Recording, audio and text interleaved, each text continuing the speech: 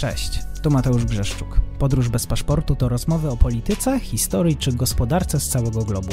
Podcast ze świetnymi gośćmi, którzy chcą się podzielić swoją wiedzą. Zapraszam na YouTube, Spotify i inne platformy streamingowe i nie zapomnij o subskrypcji, jeżeli podoba Ci się to, co robię. Od czasu do czasu pozostajemy w granicach kraju. Wtedy zapraszam na wyjątkowy odcinek Podróż po Polsce.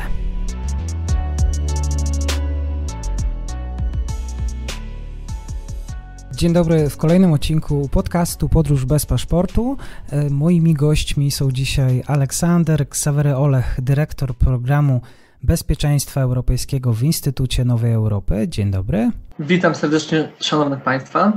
Oraz Alan Lis, dyrektor do spraw analiz i koordynacji projektów, również Instytut Nowej Europy.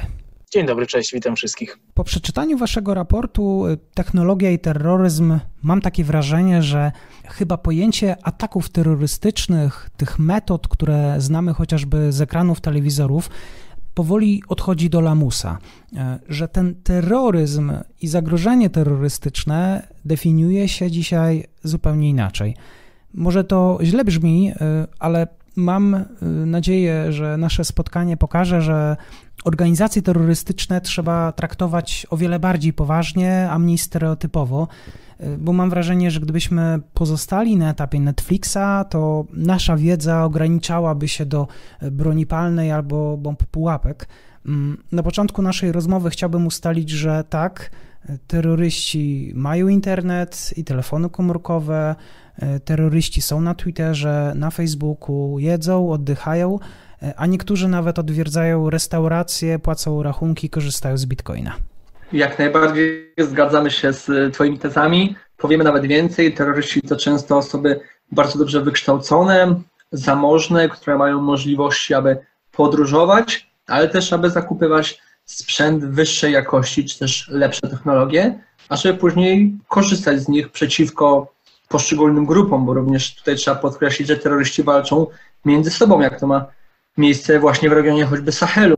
E, chcemy jednak podkreślić, że nasz raport kładzie głównie nacisk na taką mm, walkę przyszłości, czy też to, co nas czeka, bo zwracamy uwagę na sztuczną inteligencję, ale też na możliwe zagrożenia, jeśli terroryści otrzymają wysoką technologię lub ją zdobędą, albo zakupią. Więc to jest raczej taki pewien mm, sygnał, że warto zwrócić uwagę na terrorystów, i na te organizacje, które, co za, zasygnalizowaliśmy w raporcie, mają ogromny zasięg, gdyż jest to prawie cały świat. To jeszcze potwierdźcie, y, jeżeli wierzyć doniesieniom medialnym, terroryści uzgadniali szczegóły zamachów między innymi za pomocą kanałów komunikacyjnych y, PlayStation czy szyfrowanych komunikatorów. Jeśli chodzi o PlayStation, to, to tutaj przyznam się szczerze, że, że z tym się nie spotkałem, natomiast terroryści, e, organizacje terrorystyczne jak najbardziej idą z duchem czasu i korzystają z tych nowinek technologicznych, korzystają z rozwoju, tak samo jak wszyscy inni e, ludzie na Ziemi, niezależnie od, od tego, w której części naszej planety mieszkają. Organizacje terrorystyczne, terroryści jak najbardziej używają zwykłych aplikacji do komunikowania się między sobą. E, przykładem może być tutaj Telegram. Także tak, jak najbardziej, jak najbardziej takie, takie aplikacje są wykorzystywane. Ale jeszcze tylko tylko nad, e, powrócę do tego, co powiedziałeś na, na samym początku, że stereotypowe myślenie o, o terrorystach, o organizacjach terrorystycznych to wciąż e, to broń palna, samochody pułapki, jakby jakby zaznaczana jest tutaj ta prostota ich operacji. Chciałbym powiedzieć, nie wiem, czy, czy Aleksander się akurat ze mną tutaj zgodzi, czy nie, ale Uważam, że nadal zamachy przy użyciu broni palnej, przy użyciu samochodów pułapek, przy użyciu materiałów wybuchowych to jest nadal jakby podstawa działalności organizacji terrorystycznych praktycznie na całym świecie. Że to, co my opisaliśmy w naszym raporcie, to to jest jakby my staraliśmy się wejść nieco w przyszłość tego, co może być za kilka kilkanaście lat, kilka, kilkanaście miesięcy, tego, tego nie wiemy. Ale chciałbym tutaj podkreślić, że nadal broń palna, samochody pułapki, nadal te, te proste, jakby te proste, e, to też nie jest dobre określenie, ale e, jakby te, te elementy, które, które znamy, są nadal e, bardzo często wykorzystywane, bo są po prostu naj, najłatwiej dostępne. Wracając do tematu PlayStation, to potwierdzam, to ciekawe, gra FIFA czy Pro Evolution Soccer była wykorzystywana, ten czat wewnętrzny między terrorystami, żeby się komunikować. Również inne gry, gdzie mają ten e, wewnętrzny, wbudowany moduł do komunikowania się między sobą, były wykorzystywane, ażeby przekazywać sobie informacje. mm, tutaj trzeba, trzeba docenić oczywiście te zdolności, możliwości do wykorzystywania takiego kodu, ażeby się komunikować. E, ja znam przykłady akurat z Republiki Francuskiej i z Federacji Rosyjskiej, gdzie terroryści właśnie w taki sposób przekazywali sobie te informacje. A jeśli chodzi o, o te popularne bronie, jak najbardziej dużo łatwiej było właśnie w Republice Francuskiej skorzystać czy, czy, czy, czy w Marsylii, czy, czy, czy w Lyonie z noża, a e, właśnie w Petersburgu z, z materiałów wybuchowych, no bo jest to najłatwiejsze do zdobycia. No ale też musimy wziąć pod uwagę, czy Houthi, którzy atakują Arabię Saudyjską, czy Al-Kaida, która bardzo chciałaby zdobyć właśnie w tym, w tym Sahelu drony do zaatakowania żołnierzy Republiki Francuskiej, no to będziemy na takim pograniczu, że czy zaatakują nas nożami i, i, i może materiałami wybuchowymi, a może jednak będą mieli możliwość zdobycia dronów, czy właśnie to, co wspomniał Alan, wykorzystania jakichś deepfake'ów, czy, czy aplikacji na telefon,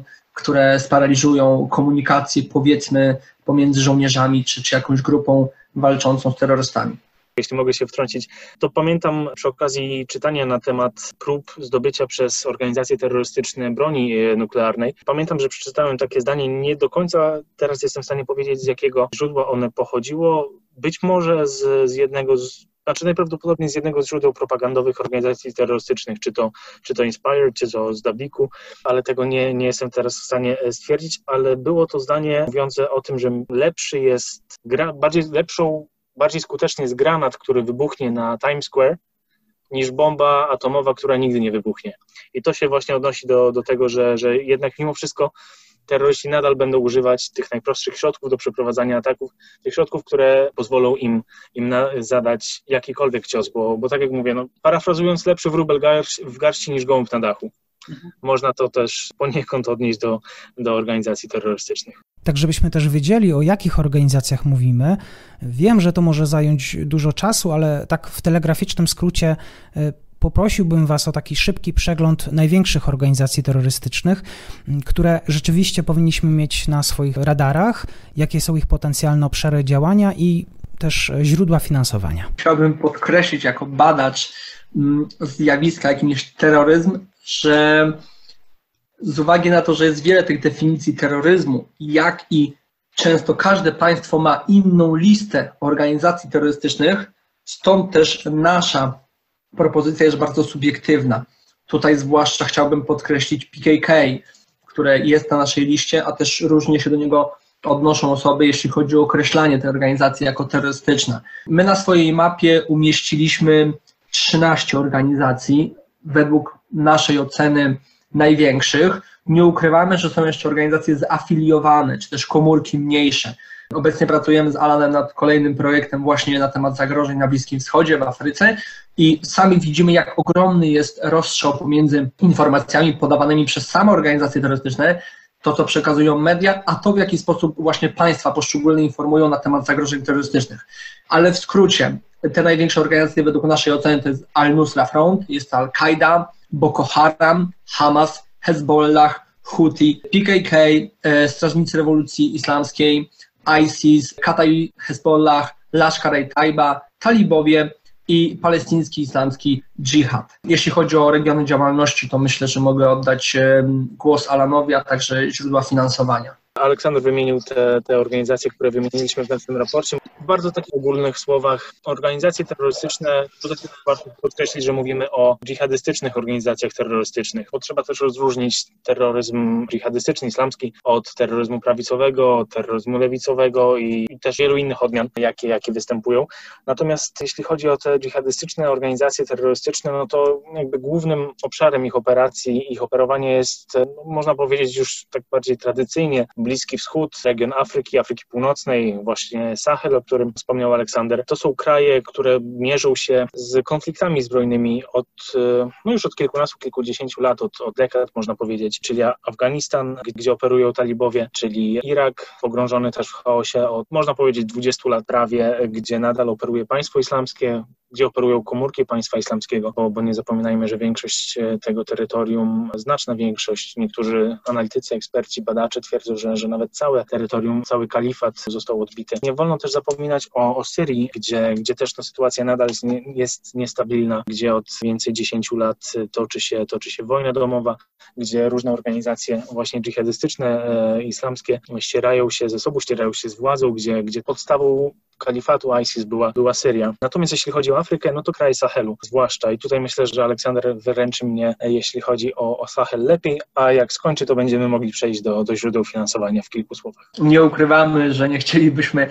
opowiedzieć całego raportu, tylko zachęcamy do przeczytania ale tak prawdę mówiąc, moglibyśmy o każdej organizacji mówić godzinami. Kiedy przygotowywaliśmy cały ten raport, to największy problem właśnie mieliśmy, ażeby w takiej pigułce zmieścić te najważniejsze informacje na temat każdej z organizacji. Jeśli chodzi obecnie o, o Sahel, gdyż nie ukrywam, że badacz z Polski, też poszukujący gdzieś tych połączeń między Unią Europejską a NATO, musimy wziąć pod uwagę, pod uwagę właśnie misję Barka prowadzoną przez Republikę Francuską i tutaj możemy sobie wymienić takie państwa właśnie G5 Sahel, które z nią współpracują, to jest Burkina Faso, Czad, Mali, Mauretania i Niger. Co jest bardzo ważnego, Mauretania jest obecnie najmniej atakowanym państwem przez komórki dżihadystyczne, ale to właśnie w 2007 roku, 24 e, grudnia, rozpoczął się ten cały proces walki z islamskim terroryzmem w Afryce przez Republikę Francuską, kiedy czterech francuskich turystów zostało e, zabitych. Jeśli chodzi o samą taką działalność organizacji turystycznych w skrócie, no to mamy mapę, na której możemy na podstawie doniesień medialnych czy też informacji organizacji stworzyć sobie jakąś czy schemat, czy, czy, czy, czy ścieżkę potencjalnych terrorystów, ale warto tutaj dodać, że bardzo często zdarza się i tutaj jest bardzo takie popularne sformułowanie, czy samotne wilki, czy samotni terroryści, że popełnia ktoś atak, który jest faktycznie nazwany atakiem terrorystycznym, a nie przestępstwem kryminalnym. I wtedy niektóre organizacje przyznają, ok, ta osoba należała do powiedzmy państwa islamskiego lub Al-Kaidy, jeśli jest to atak na terytorium Europy, bo takie mam szczególnie na myśli. I tutaj możemy my nie mieć informacji, że taka osoba faktycznie należała do tej organizacji, ale takie organizacje bardzo chętnie korzystają, że taki atak był przeprowadzony i ściągają do siebie informacje, czy też e, ten tą chwałę tego terrorysty, któremu udało się przeprowadzić na atak, że to oni faktycznie za nim stali. Więc my na podstawie naszych własnych też przemyśleń, bo jeśli weźmiemy pod uwagę raporty czy strategie narodowe poszczególnych państw, możemy e, wtedy stworzyć, czy zaproponować, czy też poziom zagrożenia terrorystycznego, czy też właśnie miejsca, gdzie te terroryści mogli operować. Oczywiście pomagają nam także szlaki migracyjne, gdyż e, tu też pojawiały się przypadki, jak w 2015 roku w Republice Francuskiej, że tych terrorystów e, przeszedł szlak migracyjny między innymi przez Grecję, ale nie ukrywamy, że głównym naszym źródłem są doniesienia ogólne plus same informacje od organizacji terrorystycznych, tak na przykład Akim w Sahelu oficjalnie mówi, że jego celem jest Senegal, Benin, Wybrzeże Kości Słoniowej, więc możemy się domyślać, że tam czy misja Barkan, czy po prostu zaangażowanie zwiększy się w tym regionie. No i oczywiście to, co Alan wspomniał, Syria. E, ja osobiście nie widzę póki co rozwiązania tego konfliktu chyba że wszystkie strony e, porozumieją się i stworzą dwa lub trzy nowe państwa, które będą funkcjonowały niezależnie, ale na przykładzie Sudanu i Sudanu Południowego e, ten, ten eksperyment chyba nie byłby skuteczny. Ale myślę, że wracamy do finansowania, bo to to kluczowe. Prawda, jak najbardziej. Jeszcze tylko dopowiem jedną rzecz, jeśli mogę, dosłownie pół minuty, minuta, że te największe organizacje terrorystyczne, czyli ISIS, Al-Qaida, te organizacje, które na przestrzeni ostatnich e, lat stanowiły no, największe zagrożenie dla, dla bezpieczeństwa międzynarodowego, dla bezpieczeństwa też wewnętrznego wielu krajów, tak jak wspomnieliśmy, Irak, e, Syria, e, kraje, kraje Sahelu. Warto wspomnieć, że ISIS i Al-Qaida operują, mają tak szeroki zasięg operacji, dlatego że działają poprzez organizacje z nimi zafiliowane czyli organizacje, jakby to powiedzieć tak potocznie, podłączone pod te główne grupy, będące, mające swoje siedziby, to właśnie gdzieś e, na Bliskim Wschodzie, to znaczy w Afganistanie, Syrii czy, czy Iraku. I tutaj dobrym przykładem jest właśnie Al-Kaida, która ma, no można powiedzieć, od lat wiele takich grup zafiliowanych z nią, wiele, wiele takich organizacji, które działają jakby pod jej skrzydłami. Operują na przykład grupy zafiliowane z, z Al-Kaidą w Afryce Północnej i, i, w Sahelu. To, co właśnie przed chwilą Aleksander wspomniał, Akim, czyli, czyli Al-Kaida w islamskim Magrebie. W Afryce Wschodniej, czyli tam mówimy o Al-Shabaab. W Jemenie operuje Al-Kaida na Półwyspie Arabskim, która wydawała właśnie magazyn Spire, który wspomniałem jakieś 5-10 minut temu, mówiąc, powołując się na ten cytat, że lepszy granat, który faktycznie wybucha na Times Square niż bomba nuklearna, który, o, której się, o której organizacje tylko marzą. Czy też Al-Kaida na subkontynencie e, indyjskim, AKIS. Jest tych organizacji mnóstwo powiązanych zarówno z jedną i z drugą grupą i, i właśnie warto podkreślić, że, że, że te grupy mają tak szeroki zakres e, geograficzny przeprowadzania swoich operacji dzięki, dzięki właśnie e, temu, że, że działają pod ich skrzydłami inne podmioty. A jeśli chodzi o finansowanie, to tak króciutko, źródeł finansowania jest tak naprawdę wiele, bo mogą to być porwanie dla okupu, tak jak to robiło ISIS. Mogą to być też prywatni darczyńcy, sponsorzy, którzy Tutaj można wspomnieć Al-Kaidę kilka, w zasadzie kilkanaście lat temu. Można wspomnieć o kontroli złóż ropy i gazu i następnie sprzedaży tych surowców. Tutaj znowu ISIS. Wymuszenia, handel ludźmi, branie zakładników dla okupu. Stany Zjednoczone mają taką e, swoją zasadę nienegocjowania z terrorystami. Oni faktycznie, Stany Zjednoczone przynajmniej z tego co nam wiadomo, nie płacą okupów za swoich, e, za swoich obywateli porwanych, czy to w Syrii, w Iraku, czy w jakimkolwiek innym miejscu na, na ziemi. Tutaj wejdę Ci w słowo, Alan. Jasne. Jeszcze a propos właśnie Stanów Zjednoczonych, no to na przykład Sudan. Sudan zapłacił 335 e, milionów dolarów, żeby właśnie być usuniętym z tej listy terrorystycznej, więc to jest o tyle ciekawe, że Sudan już nie jest państwem, które sponsoruje terroryzm, ale musiał zapłacić cenę za to, żeby być usuniętym z tej listy. Może wróćmy też do plus samego raportu. Czarny rynek broni sterowanej przez sztuczną inteligencję. To sformułowanie brzmi bardzo poważnie, enigmatycznie. Zatem, co to za zaawansowana broń i czy w ogóle jest wykorzystywana? W swoim raporcie nie jesteście do końca przekonani, że ta sztuczna inteligencja to coś, po co rzeczywiście sięgają organizacje terrorystyczne. Jak najbardziej jesteśmy, myślę, że obaj przekonani, że to, co opisaliśmy w raporcie, czyli sztuczna inteligencja, broń oparta na sztucznej inteligencji, to może być przyszłość właśnie organizacji terrorystycznych. Nasz raport my traktujemy jako takie jako taką próbę projekcji przyszłych zagrożeń, tego, co może być właśnie za kilka, kilkanaście, kilkanaście lat, niekoniecznie tego, co jest teraz. Ja też tak bardzo chętnie chciałem e, się odezwać, też nie ukrywam, że wykonaliśmy z Alanem ogromną pracę, jeśli chodzi o poszukiwanie tej definicji sztucznej inteligencji. Tutaj Alan przekopał setki dokumentów i, i analiz dotyczących właśnie samej definicji, czym jest to AI. E, tutaj skupiliśmy się, że musimy wziąć pod uwagę, zdecydowaliśmy się, że musimy wziąć pod uwagę i skupić się na trzech państwach, czyli Stany Zjednoczone, Rosja i Chiny. I w naszej ocenie, jeśli któreś z tych państw może dominować, a Stany Zjednoczone regularnie już przeprowadzają testy swojej broni przy wykorzystaniu sztucznej inteligencji, to automatycznie prędzej czy później organizacja terrorystyczna, i tutaj chcę podkreślić e, swoją ocenę, że organizacja, którą jedno z tych państw może wspierać e, właśnie któreś z tych państw, może taką broń posiadać lub taką broń zakupić. I tutaj już przechodząc płynnie do samej inteligencji, czy tej zaawansowanej broni. I ja chciałbym się skoncentrować na dronach, ale też e, myślę o systemach przeciwrakietowych, czy właśnie rakietach sterowanych przez e, sztuczną inteligencję, czyli przez e, umysł, czy też twór, który potrafiłby reagować na pewne zagrożenia, niebezpieczeństwa, czy też realizować misje niezależnie od człowieka, które mogłyby kończyć się powodzeniem z uwagi na ilość zebranych danych. W naszej ocenie najszybciej możliwe do pozyskania przez terrorystów elementy takich broni to są właśnie drony, czy też rój dronów.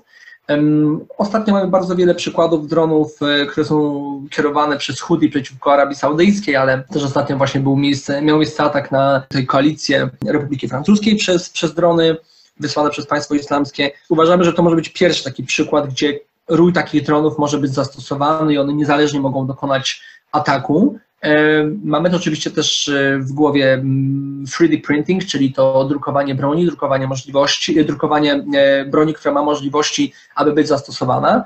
Jeśli chodzi o same takie najbardziej przyszłościowe, czyli roboty mm, czy, czy, czy właśnie pociski, to wszystko jest zależne od tego, w jaki sposób będzie toczona też wojna pomiędzy poszczególnymi państwami. I tutaj mam na myśli przykład Libii albo Syrii, gdzie strony konfliktu, w których mogą brać udział organizacje terrorystyczne, ale nie muszą, i państwa, które wcześniej wymieniłem, trzy, um, mogą stosować nowe sposoby broni, ażeby właśnie w tych um, wojnach zaczepnych przetestować swoje nowe możliwości i właśnie być może przetestować e, taką broń, która będzie działała przy wykorzystaniu sztucznej inteligencji. Jakie jest szansa na zdobycie takiej broni, czy też uzyskanie takiej zaawansowanej technologii? No i tutaj możemy pomyśleć, czy też porównać to do skuteczności szczepionki na COVID, czy też jakie jest ryzyko, że będzie kolejna fala COVID.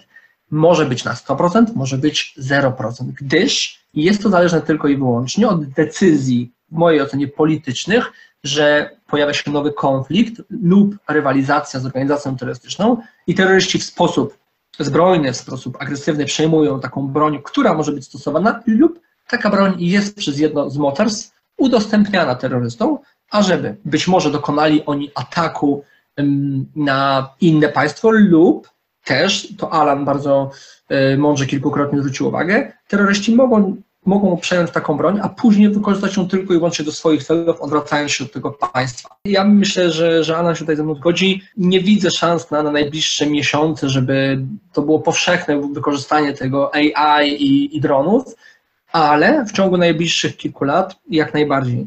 Druk 3D, zanim oddam głos Alanowi, jeśli chodzi o samochody sterowane, druk 3D uważam, że jest tu i teraz jest całe spektrum narzędzi, możliwości, które pozwalają na druko- aby drukować różne materiały do wykorzystania codziennego, czy protezy, czy też e, drukowanie sprzętów, czy nawet e, stworzenie budowli. Tym bardziej, jeśli są firmy, a takie firmy w raporcie e, nakreśliliśmy, które udostępniają wzorce do drukowania samodzielnie w domu broni, którą później można wykorzystać na własny użytek, no to oznacza to, że już dzisiaj możemy, posiadając drukarkę 3D, taką broń wyprodukować. I dla mnie, a w zasadzie dla nas, sygnalizując tym raportem, kluczowe było podkreślenie możliwych zagrożeń wynikających właśnie z posiadania drukarki. Nie chcę oczywiście tutaj demonizować, że posiadanie drukarki oznacza, że będziemy mieli zaraz dziesiątki terrorystów e, w mieście tylko takie zagrożenie pojawia się, właśnie wynikające z druku 3D. Tutaj taka śmieszna rzecz, jeśli mogę, e, bo jestem w jednym z warszawskich biurowców, takim e, jednym z nowocześniejszych i mam obok siebie po lewej stronie, dokładnie teraz policzyłem 8 e, drukarek 3D. Warto też wspomnieć, że bronią wykorzystaną przez organizacje terrorystyczne mogą być również zwyczajne samochody.